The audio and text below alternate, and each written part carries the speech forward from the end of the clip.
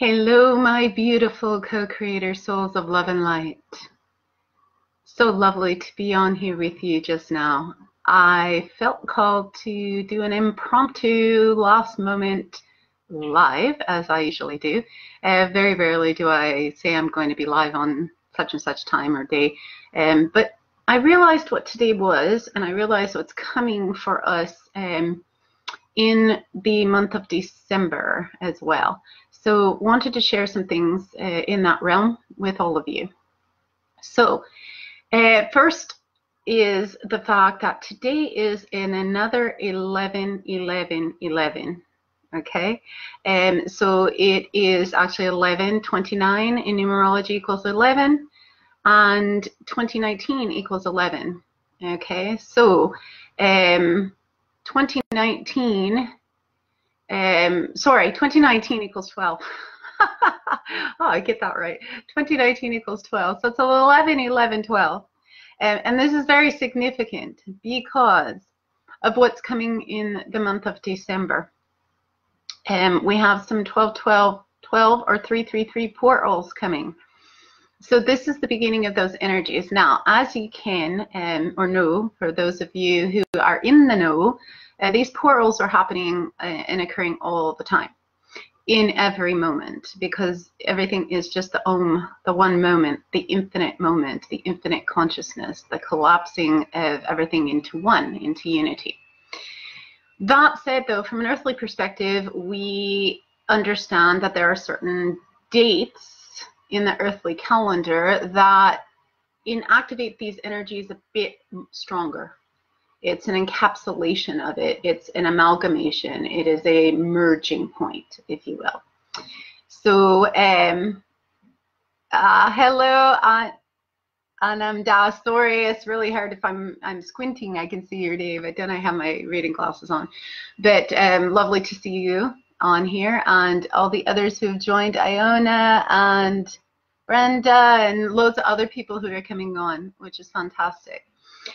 So this being a um, 1111 or 111112 portal, and um, this goes along with the 1111 or two energies, the two becoming one. Uh, this is twin soul energy. This is um, union consciousness, if you will, into the one. And then also the 12 of uh, this year, 2019, as uh, some of you may remember really early on at the beginning of this year, I did a video on um, what this year was from a soul perspective and is uh, still because we're currently in it. Um, and it's the um, the year of choice. Okay, so in this realm, we have some powerful energies that we're sitting within here. And I also wanted to address something that has gone um, pretty viral, I guess, across social media recently. And I was free from hearing the term ever, to be fair, um, until I stumbled upon a video of a friend of mine who is, uh, like myself, well known in, throughout the world um, in the spiritual community for the work that he does and he addressed it from a different perspective. So I'm going to share something from a different perspective as well. Um, hello, Tessa. Lovely to see you on here. Um, so, and this has to do with something called No November. And um, I teach Tantra, and those of you have been with me for um, a long time, long while. Those of you who've only been with me for a wee while, maybe you're free from uh, kenning or knowing this. Um, I teach Tantra, I've, teach, have uh, taught Tantra for many, many years, um, and uh, I was free from hearing this term. So it has loads to do with something that I'm um, I have been parlaying into my divine masculine God or divine masculine man course, um, which I do a monthly divine masculine men's circle uh, once a month as well. But um, for those of you who know what it is, it has to do with abstaining from masturbation and particularly having to do with porn. Now, my twin soul dealt with this because he had a porn addiction um, long before he and I connected physically. I've known uh, many people that I've worked with, um, both men and women, to be fair, who have had uh, porn addictions or sex addictions or things of that nature. So I wanted to kind of address this from the soul perspective. to give a bit of a different um, feel for it from the soul perspective rather than what's being out there on social media. And uh, Joe, hi Joe. Oh my gosh, it's been a long time since I've seen you. Blessed, lovely, lovely that you're on here. Beautiful. So, abstaining from ejaculation is something that is so, so, so very important in um, the realm of divine masculine sexuality. And here's why. One of the main reasons, and for those of you who are divine masculine, I'm sure you'll agree with me and understand this. One of the main reasons is that you are giving of your life force you are giving of your seed. So when you ejaculate, what tends to happen is, is that you end up losing so much of your life force you need to recover. Now, this was something that when I was married to my uh, former husband, it used to bother the shit out of me, um, mind you, because I was a virgin when I got together with him. Um, uh, my original twin soul, who was killed um, before he came back as a walk-in, and who my twin soul is now, um, he um, and I never consummated our relationship. He was killed before that happened. And so I was a virgin when I got together with my former husband. And so he would often fall asleep after ejaculation, or he had issues with premature ejaculation and premature um, um, issues in terms of um, erection and things of that nature. And it wasn't until I started going deeper into the channels with Source that I came to understand. Uh, bless you too, soul brother. Love you, Joe. Um, it wasn't until I came into the deeper channels of Source um, and understanding what Tantra really means and how beneficial it is for the divine masculine man to be free from ejaculating. So I'm placing this invitation, and this is why I waited actually till the end of the month um, to put this in because No Nut November, um, I'm free from actually liking the expression, to be fair. Um, however, because I feel it emasculates you as the divine masculine, um, beautiful God's men that you are. Um, however, I would encourage you and invite you into being free from doing this all the time, unless you are looking to procreate. Now, at my age, obviously, it would be immaculate conception. That's not happening. Um, so, but uh, for those of you who are um, of childbearing age, it is important that you keep your life force within you. It keeps the quality of your sperm count up, to be fair. Um, and there's also another benefit that some people are free from understanding that when you get older, you seem to understand, which is the fact that of recirculating the energy. Now, this is something I teach in my divine, uh, or sorry, my uh, soul mediumship course of how to actually recirculate the toroidal field that we are of our own energy, but then that energy expands out infinitely in infinite consciousness. So if you're giving your seed away, and this is also, the analogy is free from just being physical ejaculation. This is about for both divine feminine goddesses and divine masculine um, gods, men.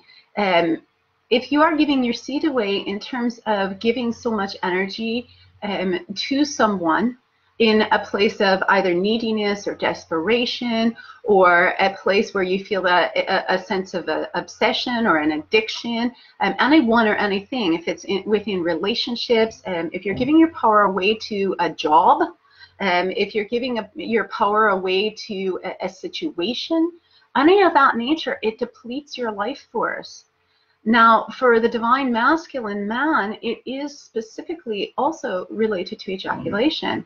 And so to actually learn to be able to recirculate that energy through the Buddha belly breath, through certain techniques um, that I teach in Tantra, and the Soul Mediumship course, I teach it in a different level. When I teach Tantra, I teach it in another way.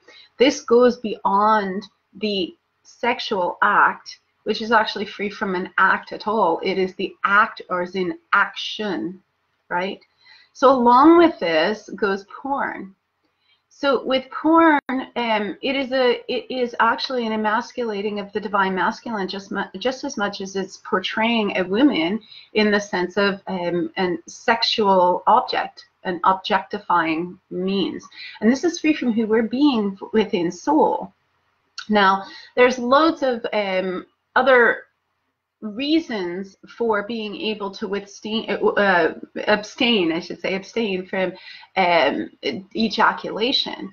But one of the biggest things is, is that you are to remember, divine masculine gods, men that you are, the divinity within you first. And it is our highest purpose as the divine feminine goddess to bring you to source again and again and bring you to your soul. And actually, my partner and I were just uh, chatting about this the other day because he had seen my post um, that I posted about he and I, but then also the Cherokee proverb. And I had to explain to him that there was a second half to that, or the beginning half to each of those sides of that proverb um, that was named written in the um, graphic. Um, the lowest form of coming to the divine masculine and divine feminine goddesses is you coming as a sexual object you coming to the divine masculine and trying to um, sway him from his mission and purpose, to um, use sex or um, any means of uh, some sort of manipulation in your um, uh, goddessness of beauty and what have you to somehow derail his purpose and his connection to source. And the highest purpose for the divine, uh, divine feminine is to bring him to his soul and to source again and again. Right? Um, and that's the place where I resonate. And then the opposite is true for the divine masculine. For the divine masculine, it is to the lowest calling from an earthly perspective. Now, from soul, there is free from being higher or lower because soul, there is just the essence of um, vibrational frequencies in the bandwidth, if you will, of the internet or the bandwidth of a, of a radio dial. Um, but in terms of earthly context, the lowest form of frequency um, in that respect, the lowest form of purpose for the divine masculine is to objectify a woman, to see her as some sort of um, property or possession, um, to see to see her as some sort of a sexual object. Now, the highest calling that he has is to protect her so that she's freely able to walk the earth. And it's named that the divine masculine can um, per, um, be this sense of um, coming to his own soul. Aye, he can do. He can come to source in his own soul again and again. However, um, and it's named to mean that the divine feminine can protect herself as well. However, within union, which is what this 1111 portal is today, um, the symbol I often use is this. Um, I'll hold it up a wee bit higher, but it's meant to be placed at the heart, but it's the union. It looks this way. So it's the union, the collapsing of the divine feminine and divine masculine and coming into union, into oneness. And so the, um, the union perspective is that higher calling to where the balance is on both ends. From an earthly perspective, we need one another, not from a place of neediness, but in the sense that we complement each other, we accommodate each other, and we do so willingly from, from a free choice which again, 2019 is all about the year of choice, right, from the soul perspective. Um, and then I'll have an energy report uh, for you for what uh, 2020 is going to be um, at the first of the year after Hogmanay or the new year. Um, however, this said, this is where the balance is. And so porn and um, having sex in terms of getting off um, is simply about the fact of objectifying each other rather than collapsing into union and being that oneness, it's two separate beings attempting to relate to one another to get their needs met through manipulation. Okay, that's what sex is. Tantra, on the other hand, is a whole other ballgame, and that's way beyond um, the the essence of the sexual act. The sexual act is actually kind of like the last thing, right? It's about union. It's about union with source and coming from that place of mission and purpose. And so this is the day that we're sitting in right now. So for December, December we have 12 12 12 coming up. Um, and we also have 12 21 12 basically or 2019 coming up. So 12 12 um, the 12 power energy is a power source of energy for Lemuria. Uh, because each Lemurian uh, crystal cave had 12, 12 symbols in it. 12 is very powerful in our zodiac. Um, 12 is very powerful from the soul essence because it's the energetic number that brings it, it's reduced in numerology then to three. So the 12, it's 12 or three. And again, it's that 333 magic. If you remember early on in this year, in uh, March it was, we had um, several 333 portals, okay, which was the unity consciousness of melding Father Sky, Mother Earth, right, or the soul perspective of the divine masculine, the soul perspective of the divine feminine into oneness. So that's what that three energy is. And um, if you were free from seeing that video back in March, I would invite you to go look at my videos on that um, here in uh, on uh, Facebook and or uh, YouTube. But that said, with this energy portal and being on the 1212 and it being 1212 and then 1221, uh, which is also the winter solstice, which is a very special day um, and evening because it's the long, it's the shortest day of the year and where we return to the light the light of oneness, the light of one. And, and so for me, um, I will probably be, it's also, I should say, um, it's also the day that um, I will be breaking another fast. Um, I'm going to be walking my partner through a um, three week fast, a 21 day fast. We begin it on December 1st, which is this Sunday. And since he's um, only done fasting bits and bobs here, I'm walking him through one. So I will be fasting along with him. Um, and it's in preparation for the 1221 portal. And in the middle of that, basically, or somewhat in the middle of that, approximately in the middle of that, is the 1212 portal.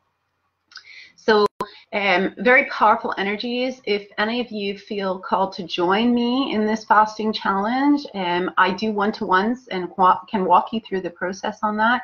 If you're already fasting and feel at some point to do all 21 days, some of it, part of it, you know, all of it, what have you, and um, I'd be honored to have you join us in that respect.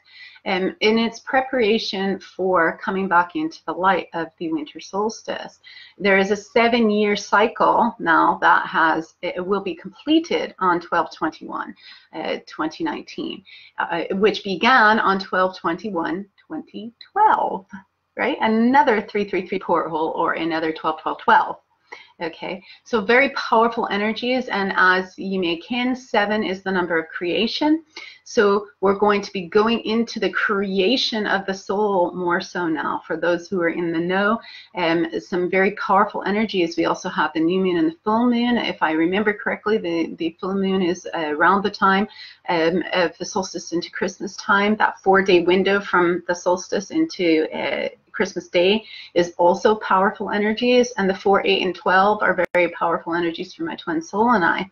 So it's going to be a very powerful month of December. So be free from being surprised if you notice um, things accelerating for you.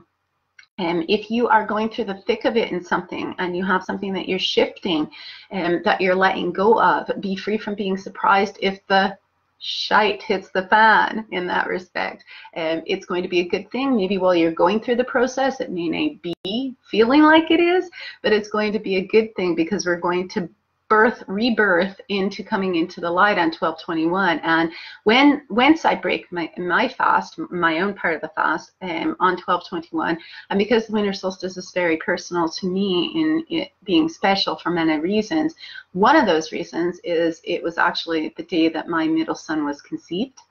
And the other is related with my twin soul.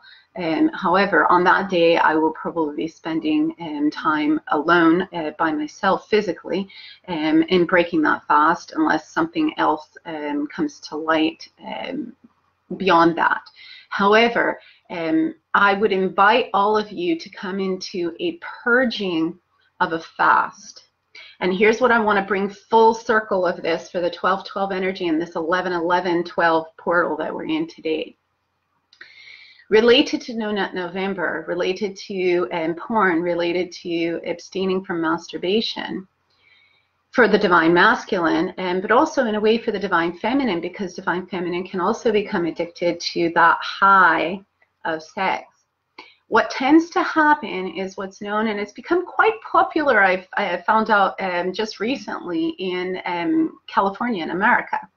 Um, something in Silicon Valley which has really um, made a big impact worldwide, and so I'm bringing this out now as well, uh, is something that's called a dopamine fast.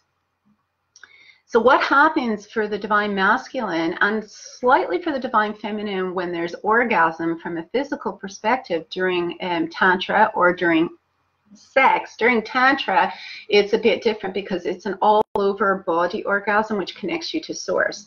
When it's a physical orgasm for the divine feminine or the divine masculine what also happens is a release of dopamine. There's also loads of other things that get released but a release of dopamine and dopamine is that feel-good chemical we get, uh, which has us addicted to food. It has us addicted to each other. If we are coming from that place of neediness and uh, have to be with you all the time kind of thing, um, it comes when we're addicted to uh, other behaviors as well. And the sexual act is also one of them. So what tends to happen in this is that we get addicted to those dopamine rush. Just like an addiction to food, in some form or fashion, all of us are addicted to food. Okay, we crave that dopamine high from that cake or that sweetie or even something really good like avocados, which I absolutely love. And um, it can become a dopamine addiction. It can become a dopamine high. It can become a dopamine um, way of gaining that in a, way, a neediness way. So dopamine fasting, I would invite you to do also during this next three weeks. Or for those of you who are free from physically wanting to fast or, or who only want to do part of it, choose either part or the whole time of the three weeks of something you're going to dopamine fast on. Now, um, for me, I remember this, doing this in terms of Catholicism. And being that I was raised Catholic, we had every year on the um, in the spring, uh, going towards um, the time of, of Easter, we had Lent, right? What were we going to give up for Lent?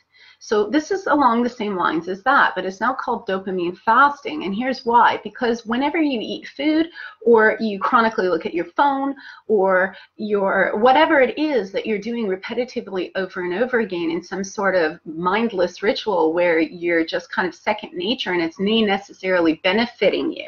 If it's something that's benefiting you, then that's completely different. But there's dopamine receptors in our brain that get hardwired for this addiction. So then you feel compelled constantly to do it, whether it's feeling compelled to go back to that relationship that's no good for you, or go back to that job that you absolutely hate, but you know, oh, I have to make money, um, or um, food, uh, your favorite cake, your favorite sweetie, or what have you. It may matters the addiction, but it also parlays into porn, and it also parlays into sex and masturbation as well. And something that has happened for the young ones, the wee ones now, um, who are coming into their own in, in being teenage years, and some of them we're seeing even in preteen age, um, who are doing masturbation in this way, both divine masculine and divine feminine, but primarily divine masculine. What tends to happen is, is that there is such a dopamine receptor embedded in the brain that there cannot help to be anything that um, can stop it, and then they're unable to enjoy sex, enjoy the um, enjoy the um, the enjoyment of sex because they are so into how they do it from a masturbation perspective that if a woman or a man goes goes to please them, they don't feel anything okay, because it has to be done a certain way. Now, exploring your body is absolutely wonderful, and we need to be more in touch with our bodies. The issue, however, is we become so addicted to that that we can only understand that touch. We can only understand what we do with ourselves rather than being able to explore it with somebody else. So dopamine fasting means if you're on your cell phone and you're stopped at a light and you constantly got to look at your cell phone or you're with your partner and, and you're constantly looking at your cell phone while you're whilst you're eating and um, stop that. Go on a dopamine fast. Make it your business to be free from doing that. And every time you go to reach for that phone or every time you go to reach for that behavior or that thought process, um, if you're thinking about and caring about what other people think of you, um, any of that nature, stop in that moment and choose something different. Choose something healthy instead. Okay, so if it's a thought process of I'm not good enough, choose instead to find all the ways that you appreciate yourself. If it is reaching for that cake or that sweetie, mm, do you know what? I think I'm going to have a smoothie instead. Okay, you may not be able to go full fast and, and whatnot. Just take it at the level that you can do. Okay, and um, so this is what I wanted to share for you, with you um, because this is what's so important for this portal energy of the 11, 11, 12 today. And then also for the 12, 12, two 12, 12s that we have coming up in the month of December. It's about purging, letting go of what no longer serves you because we are in the winter, coming into the winter months. Um, hibernation going within and taking the time to actually rebirth into the light on 1221. So with that, I just want to say to you, I love and appreciate all of you so much. Um, thank you for all of the amazing comments about my um, current relationship. And um, thank you for being here with me. Um, on the 1212, if you're here locally, I will be doing a special soul mediumship evening. Um, and it's going to be involving psychometry. Um, so I would invite you to come through. Stay tuned for more on that on my website. And just to say that I love you, all of you, and thank you. I appreciate you so much. Um, and may your 11, 11, 12 and your 12, 12, 12 portal days be as amazing as you are. And go shine that love and light. Love all of you. Espavo.